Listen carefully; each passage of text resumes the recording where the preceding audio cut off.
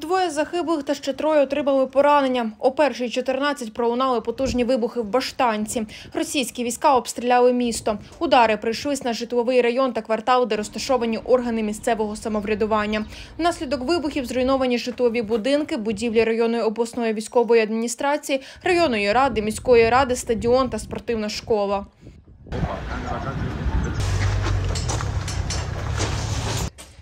Від потужних вибухів біля свого будинку прокинула жителька Баштанки Наталія. Жінка розповідає, зорієнтувала схопити дітей та стати біля стіни. Це їх врятувало.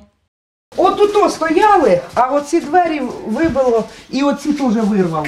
А ми отако, я тут отак Аню накривала, а Серега з тої сторони двоє дітей, а Серега з Анею, і отак ми стояли. Лежу я на кроваті з Серегою. Серега щось проснувся і почав вставати. Я теж проснулася. І він тільки приподнявся, і воно як гупнуло, малий сидів у кухні, і зразу оттуда вікна. Він нахилився, я тако як прочесало по голові тільки. Ну, він нахилився. То він в больниці зашили рани. І він давай бігти, тут вікна летять. Ну і осколками оце його побило так. В будинку, де проживає Наталя з чоловіком та дітьми, зруйновані стіни, вікна та двері. Ну, криша, потолок просів. Серега тільки що він строїтель, лазив на горіще, то казав, що треба там міняти буде навіть потолок сам. Ну, хлопці одразу через 5 минут ми тільки встигли вилізти, вже бігли хлопці, забігали в кожний двір, питали, чи живі. Чоловік Наталії говорить, вибухи почались у першій ночі. Один зі снарядів розірвався поруч з будинком. Примерно в час ночи произошел взрыв. То это, повилітало все, ось ви знімали. Держимо себе в руках, не панікуємо, неприятність велика, ну що ви зробите? А я його вже робити не буду. Тут нема що робити. Ви подивіться, тут стіни понесло конкретно. Тут А сьогодні, наприклад, де будете залишатися? Ну, будемо у матушки жити, поки війна не закінчиться.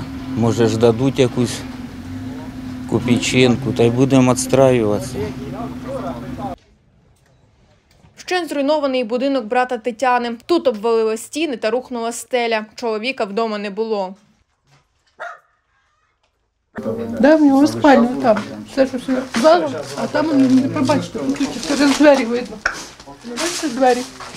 Там його спальня, там його кровать стоїть. Така біда. Що тепер робити? Ну, ми вчора ночі чули. Дуже громко було. Утром приїхав покормитися. Позвонили. І там рядом в мене племянниця живе те саме. А тепер не думаєте якось виїхати, може, з міста? Нема куди. За що куди? Ми були виїжджали першого числа. Ні. Там туди, в Львовську область. Ну що? Грошей немає, роботи немає. Посадили трохи та й вернулися на свій страх і рис. Внаслідок нічного обстрілу Баштанської громади зруйновано вісім приватних житлових будинків. Також пошкоджено лінії електропередач. На місці ведуться ремонтні роботи. Мер міста Олександр Береговий відмовився від коментарів. Єлизавета Кротик. Єдині новини на Суспільному. Миколаївщина.